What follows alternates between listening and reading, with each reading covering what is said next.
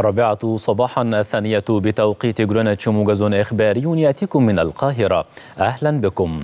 أجرى الرئيس عبد الفتاح السيسي اتصالا هاتفيا بالرئيس الأمريكي المنتخب دونالد ترامب. هنأه بفوزه في الانتخابات الرئاسية الأمريكية. مؤكدا تطلع مصر لاستكمال العمل المشترك مع الرئيس ترامب في فترة ولايته الجديدة في ضوء الطابع الاستراتيجي للعلاقات الممتدة على مدار عقود عديدة بين الدولتين. وكذا التعاون المميز بين الجانبين الذي شهدته فترة ولايته الأولى.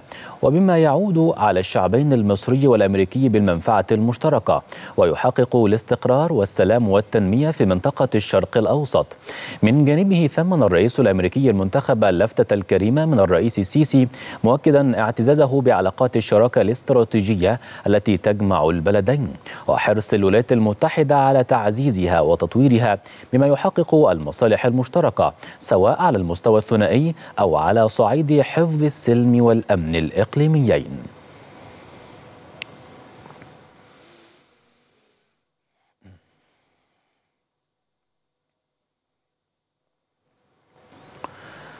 تقدم الرئيس عبد الفتاح السيسي بخالص التهنئة للرئيس الأمريكي المنتخب دونالد ترامب.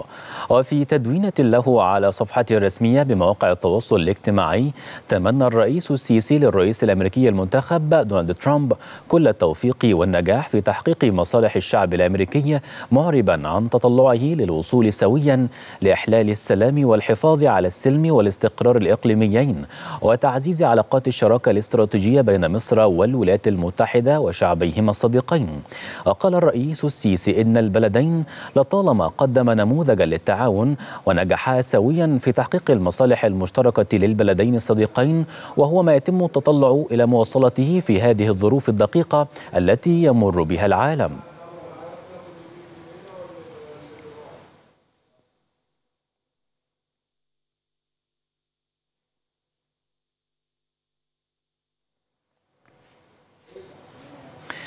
قال الرئيس عبد الفتاح السيسي إن المباحثات التي أجراها مع رئيس إستونيا ألار كارس أكدت توافق الرؤى حول أهمية تكثيف العمل المشترك لتعزيز العلاقات الثنائية بين البلدين الصديقين.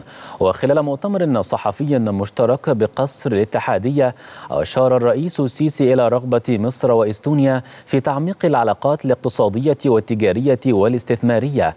وأشار الرئيس السيسي إلى التوافق على أهمية الحفاظ على دورية انعقاد جولات المشاورات السياسية والزيارة الفنية بين مصر وإستونيا معربا عن الترحيب بدعم إستونيا المستمر داخل مؤسسات الاتحاد الأوروبي للملفات ذات الأولوية بالنسبة لمصر، كما أكد الرئيس السيسي أن مصر تعتبر القضية الفلسطينية صلب قضايا المنطقة، مؤكدا أهمية تضافر الجهود للتوصل إلى الوقف الفوري لإطلاق النار ومنع انزلاق المنطقة لحرب إقليمية واسعة النطاق، واهميه إقامة دولة فلسطينية ذات سيادة على خطوط الرابع من يونيو 1900 1967 باعتبارها حجر الزاوية لتحقيق الاستقرار في منطقة الشرق الأوسط.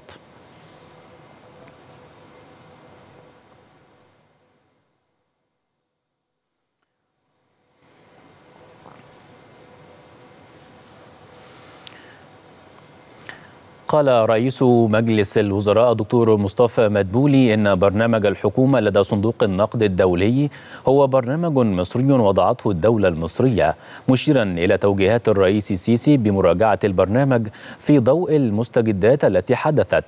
وخلال مؤتمر صحفي بمقر مجلس الوزراء أكد مدبولي على التوجيهات الرئاسية بعدم اتخاذ أي قرارات من شأنها إضافة أعباء جديدة على المواطنين. وأشار رئيس الوزراء إلى أن مديرة صندوق النقد الدولي أكدت أن هناك سعر صرف مرن في مصر بالإضافة إلى تحقيق معدلات نمو بالبلاد. وأضاف مدبولي أن تقديرات صندوق النقد الدولي أكدت أن التضخم في طريقه للانخفاض في مصر. كما أشار إلى أن الهدف من الشائعات هو زعزعة استقرار وأمن الدولة وإثارة الرأي العام. كما أكد مدبولي أن موقف مصر من سد النهضة الإثيوبي والذي أعلنته منذ البداية أنها ليست ضد التنمية في دول حوض, حوض النيل مما لا يؤثر بالسلب على الدولة المصرية وحقوق الدولة المصرية في نهر النيل. وشدد على أن مصر حريصة على حماية حقوقها المائية بكافة الوسائل ولن تفرط في حقوقها التاريخية في مياه النيل وقادرة على حماية تلك الحقوق.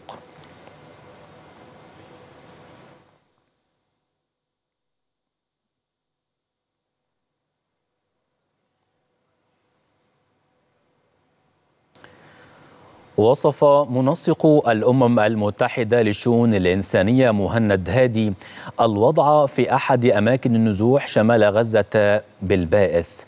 مؤكدا أن هذا المكان لا يصلح لبقاء البشر على قيد الحياة مطالبا بتوقف الحرب.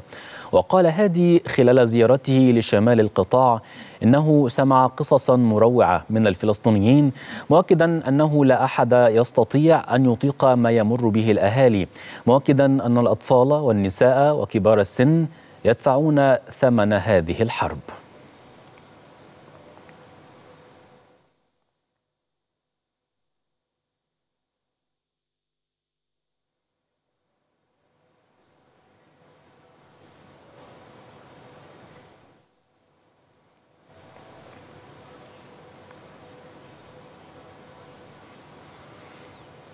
أعلنت وزارة الصحة اللبنانية استشهاد أربعين شخصا في محيط مدينة بعلبك بشرق البلاد. كما استهدفت الغارات الإسرائيلية معقل حزب الله في الضاحية الجنوبية لبيروت واستهدفت أربع غارات على الأقل المنطقة بعد أن أمر الجيش الإسرائيلي سكان بإخلاء عدة مواقع.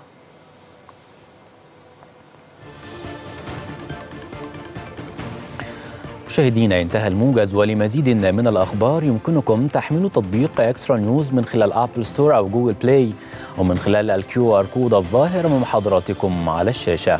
شكرا على طيب المتابعة تقبلوا تحياتي أنا محمد أنصاري ودمتم في أمان الله.